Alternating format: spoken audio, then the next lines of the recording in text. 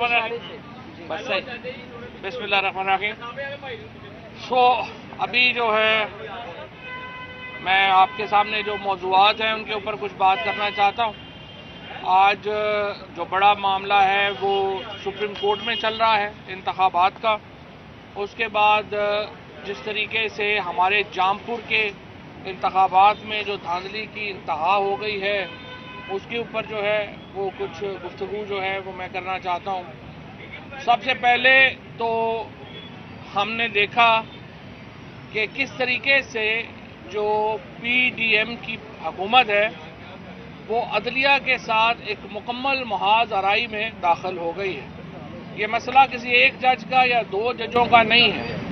ये मसला इंस्टीट्यूशन का है और हमने ये देखा है कि अदलिया को भरपूर तरीके से निशाना बनाया जा रहा है और मरियम नवाज़ का यह ख्याल है कि वो जजों को गालियाँ निकाल कर अदलिया को दबाव में ले आएँगी। इससे पहले उन्होंने जब गुजरावाला में नवाज़ शरीफ ने तकरीर की उस वक्त के आर्मी चीफ जनरल बाजवा साहब के ऊपर और फौज के ऊपर और उसके बाद वो दबाव में आ गए।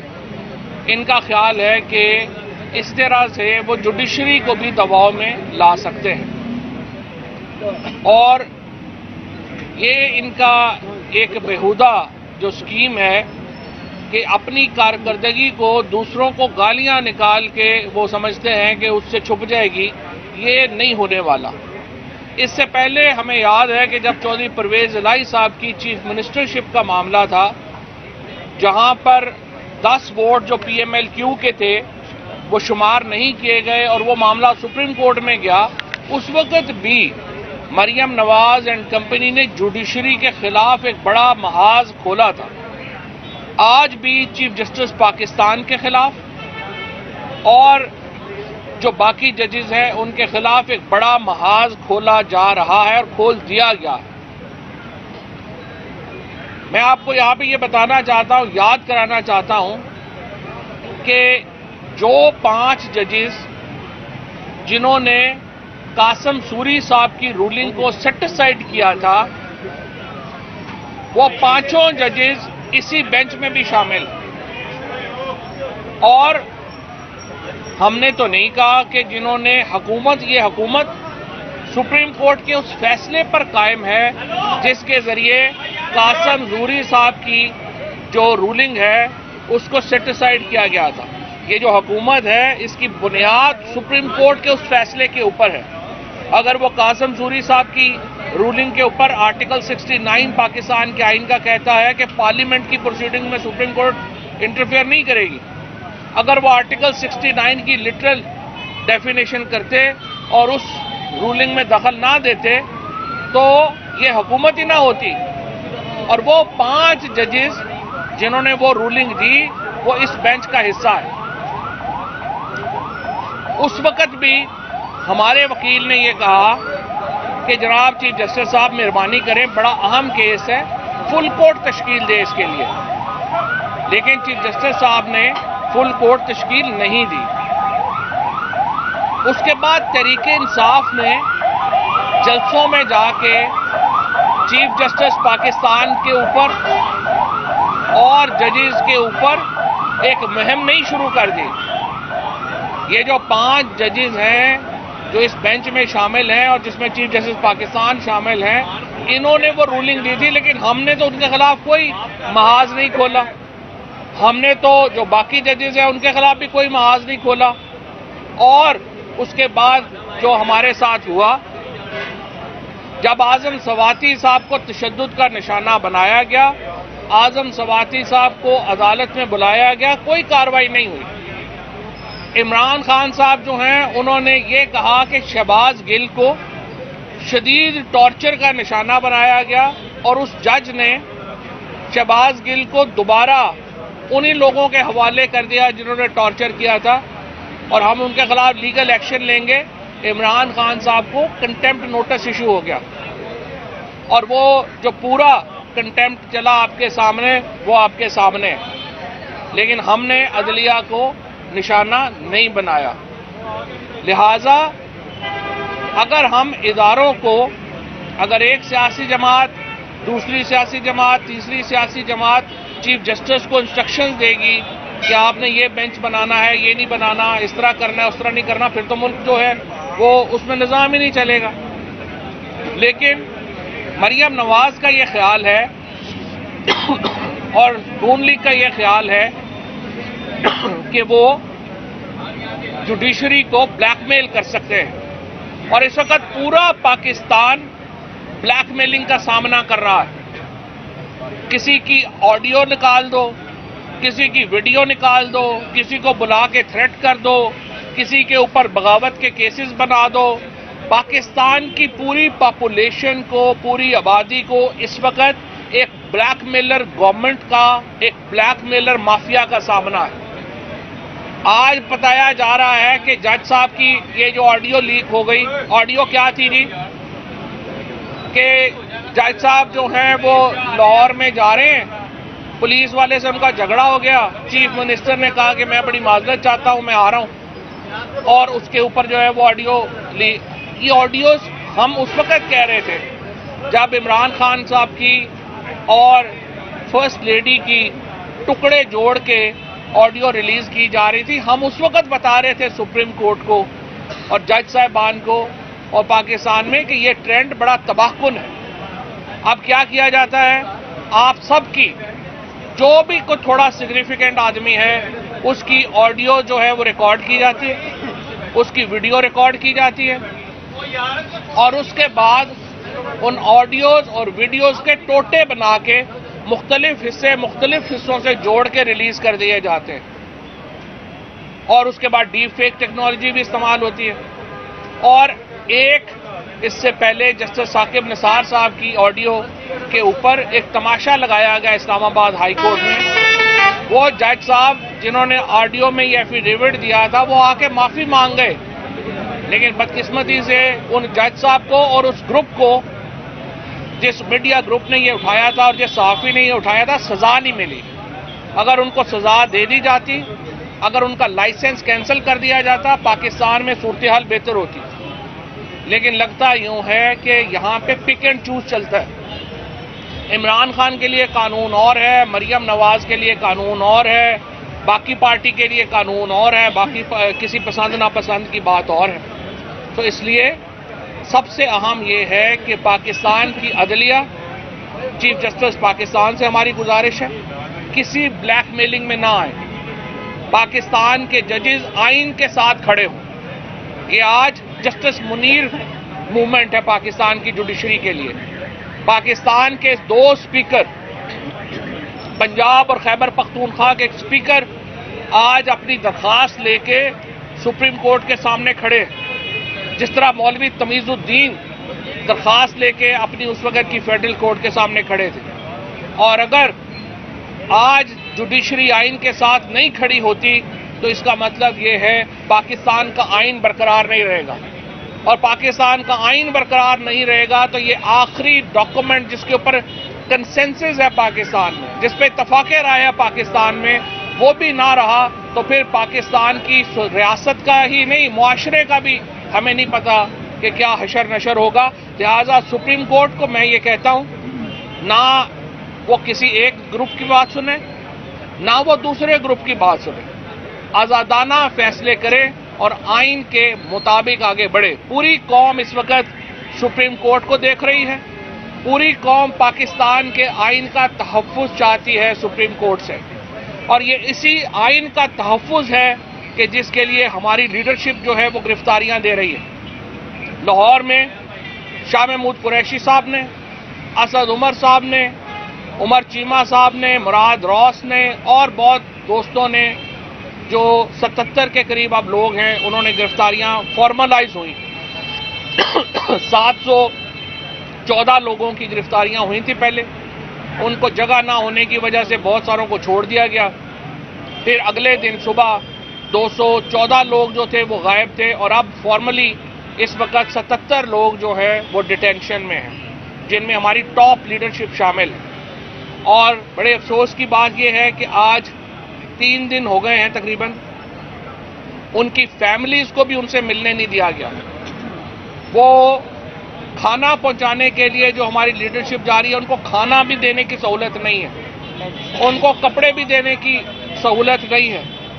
फ्राई पैन शायद दे दिया हो, कपड़े नहीं है तो चले इस्त्री कर लें। क्योंकि मरियम नवाज़ के पास तो चूल्हा भी था और फ्राई पैन भी था, लेकिन इनको भी ये सहूलत भी मैसर नहीं है। तो असद उमर साहब, शाह महमूद कुरैशी साहब उनकी मेडिसिन भी उन तक जो हैं, वो 48 घंटे तक नहीं पहुँची। अब सुप्रिटेंडेंट जेल ने वादा किया जी, हमें पहुँचा दें, हम मेडिसिन पहुँचा देंगे। ये पॉलिटिकल प्रिजनर्स हैं। ये सियासी कैदी हैं। हम ये नहीं कह रहे, आपने इनको कल रिहा करें, आज रिहा करें। लेकिन जेल मैनुअल में जो हकूक हैं पॉलिटिकल प्रिजनर्स के, सियासी कैदियों के, वो तो उनको दें। हमारे जो कारकुनान हैं, उनको बैरिक्स में बंद किया हुआ है, उनको क्रिमिनल्स के साथ रखा हुआ है। क्या वो सियासी कैदी नहीं है? उनको खाना हम देर पहुंचवाने चाहते हैं, हमारी तंजीमें, उनको खाना नहीं पहुंचवाने दिया जा रहा। तो ये और कहा यह जा रहा है, जेल अथॉरिटीज जो हैं, वो बेबस है। और ये मैं समझता हूँ, जिस तरह से उनको दूर दराज इलाकों में भेजा गया टेररिस्टों की तरह उनको बसों में डाल के दूर दराज इलाकों में भेजा गया। जो लोग यहाँ पे ताकतवर हैं, उनके ऊपर ऐसा नहीं हो रहा। लेकिन ये जो मौसम नकवी की हुकूमत है पंजाब में, ये जो नून लीग की एक्सटेंशन है, और जो बुनियादी तौर के ऊपर एक रियल एस्टेट माफिया की हुकूमत इस वक्त जो पंजाब में चल रही है, जिसमें सारे प्रॉपर्टी डीलर और पैसे दे के लगे हुए वज़ीर बैठे और खुद मोहसन नकवी, उन्होंने ये जो जुल्म उठाया है हमारी लीडरशिप के ऊपर, ये नाकाबले कबूल है। हम इसकी शदीद मजम्मत करते हैं और इन ताला इसके ऊपर कानूनी कार्रवाई जो है वो आगे बढ़ेगी। कल पिशावर के लोगों ने तारीख रकम की, जहाँ पे हज़ारों लोग गिरफ्तारी के लिए बाहर निकले और उन हज़ारों लोगों को देख के पुलिस ही वहाँ से चली गई और उन्होंने उन्हें गिरफ़्तार नहीं किया। आज, इस वक्त रावलपिंडी में जेल बचाओ तहरीक चल रही है और अभी तक जो मेरी इतलात है इक्यासी लोग वहाँ पे गिरफ्तारी दे चुके हैं, जिसमें जुल्फी बुखारी शामिल हैं, जिसमें फयाजुल हसन चौहान शामिल हैं, जिसमें शेख राशिद शफीक शामिल हैं और जिसमें बाकी लोग जो हमारी लीडरशिप है, वो शामिल है।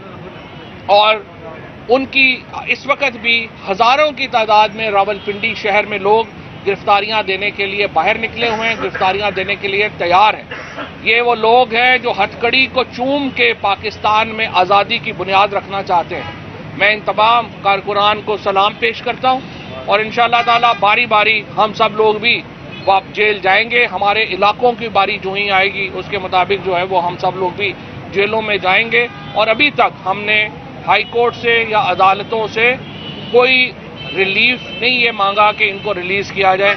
हमने ये रिलीफ ज़रूर मांगा है कि इन लोगों को जेल में जो सहूलतें हैं, जो कानून में वो बताए, वो दी जाए, जो इनके ऊपर जराइम लिखे, लगाए गए हैं, उनकी तफसील दी जाए और बताया जाए कि कौन कहाँ पे है।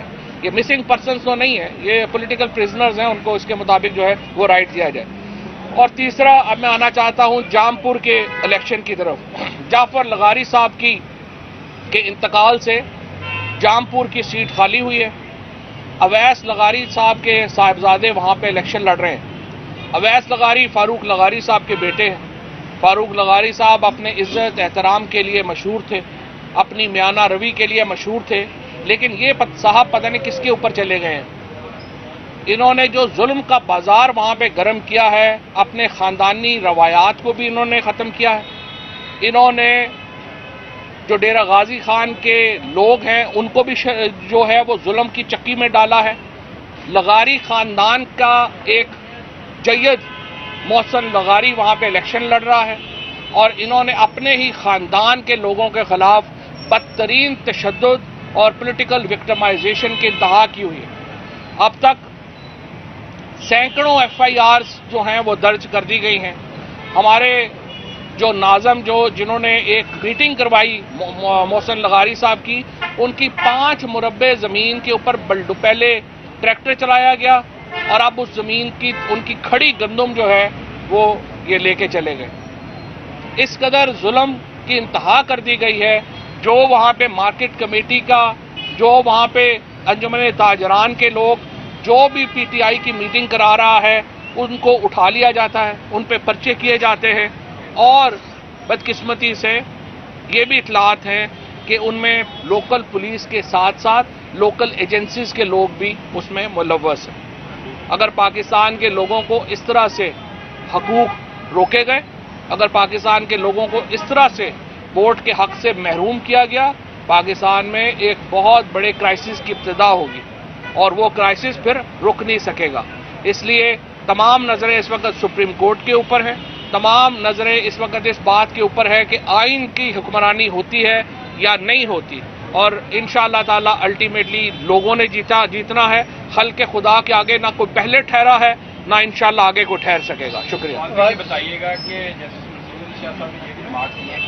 पहला जो दोनों आया कि वो आइन के मुताबिक या की बिना पर है। अगर ये चीज़ें लिंगर ऑन होती हैं अदालत इनको लेके जाती है तो मामला बहाली की तरफ़ आता है और फैसला आता है इलेक्शन नहीं होंगे। तो आप इसको एक्सेप्ट करेंगे देखिए, पहली बात तो यह है कि सुप्रीम कोर्ट के जो अहकाम होते हैं, उनमें पसंद, नापसंद की बात नहीं होती। सुप्रीम कोर्ट का हुक्म तो फाइनल होता है, उसको जो है वो आपने मानना होता है।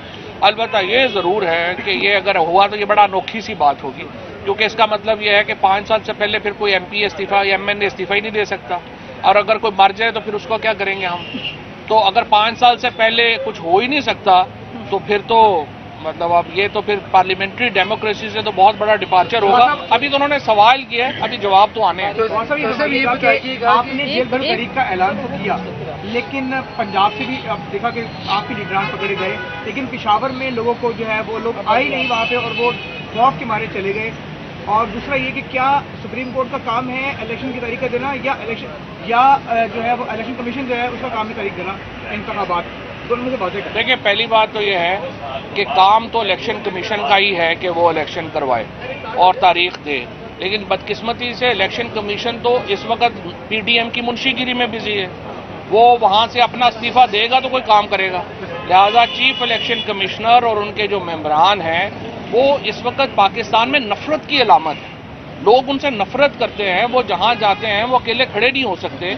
और इसलिए सुप्रीम कोर्ट ऑफ़ पाकिस्तान को ये उनको बताना पड़ेगा कि उनके आईनी फ़राइज जो है, वो क्या है। पिशावर में बिल्कुल आपने सही कहा, वहाँ पे हज़ारों लोग निकल आए, जिसके बाद पुलिस जो है, वो वहाँ से चली गई, और वहाँ पे गिरफ्तारियाँ वो नहीं कर सकी नून लीग के कुछ अकाउंट्स सोशल मीडिया पे जजेस के खिलाफ नहीं चला रहे हैं। हमारे जो अदारे हैं साइबर क्राइम के, वो क्यों नहीं कुछ कर रहे वो भी खामोश बैठे हैं। सबसे ज़्यादा अकाउंट जो रीट्वीट्स कर रहे हैं वो तो मरियम नवाज़ का अपना अकाउंट है। और मरियम नवाज़ इस सारे जो जजेस के खिलाफ जुडिशरी के खिलाफ जो कैंपेन है, उसको लीड जो है, वो मरियम नवाज़ कर रही हैं। और जो और जो आपने कहा कि साइबर क्राइम देखिए साइबर पाकिस्तान में कानून सिर्फ़ कमज़ोर को पकड़ता है।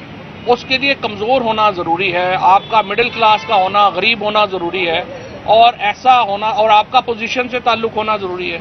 ये तीन चार इंग्रेडिएंट्स होंगे तो कानून और साइबर क्राइम वगैरह आपके ऊपर आएगा वरना तो आपकी मौज है। तो मरियम नवाज़ जो मर्ज़ी करें। आपको लगता है कि पाकिस्तान तहरीके साहब फ़ेज़ वन का ऐलान किया गया था कि फ़ेज़ वन में हम इतनी गिरफ्तारियाँ देंगे और तीन शहरों में आपने नौ नौ शहरों में। सूरत हाल देख लिया तो फ़ेज़ टू होगा या लगता है ये तरीका कामयाब हुई है।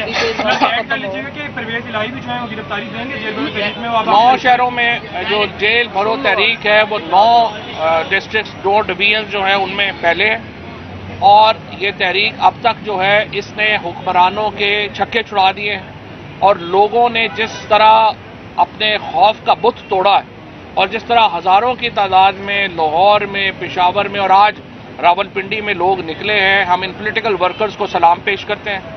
ये वो वर्कर्स हैं, ये वो लोग हैं जो सिर्फ़ घर पे बैठ के सोशल मीडिया के ऊपर ही नहीं, सिर्फ़ हर एक की तनकीद कर रहे ये वो लोग हैं जिन्होंने आगे बढ़ के इस आज़ादी की बहम में, इस आज़ादी के और आइन की पासदारी के लिए अपने आप को पेश किया है। तो ये तमाम कारकुन बहुत काबिल एहतराम है। और इंशाल्लाह ये जो दूसरा मरहला होगा ये मुलगीर होगा और उस मुलगीर मरहले की भी हम प्लानिंग कर रहे हैं। सर ये बताइएगा कि परवेज इलाही भी जो है जेल में परवेज गिरफ्तारी देंगे? बिल्कुल परवेज इलाही साहब भी देंगे जब गुजरात की बारी आएगी परवेज इलाही साहब भी आप कब दे रहे हैं गिरफ्तारी? जब जेल में अभी तो आए वापस।